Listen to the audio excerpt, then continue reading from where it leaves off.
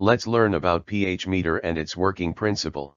A rough estimate of the pH can be obtained from the use of pH papers or indicators by changing color at different pH level.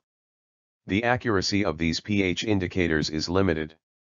The pH meters are the instrument which are used to measure the pH with a high accuracy. The pH meter is a piece of electrical equipment that consists of a high input impedance meter, a reference electrode, and a pH measuring electrode. The pH electrode, like a battery, alters its voltage based on the pH of the fluid being tested. The millivolt output of the hydrogen ion sensitive glass bulb used as the pH measuring electrode varies based on the relative hydrogen ion concentration within and outside the bulb.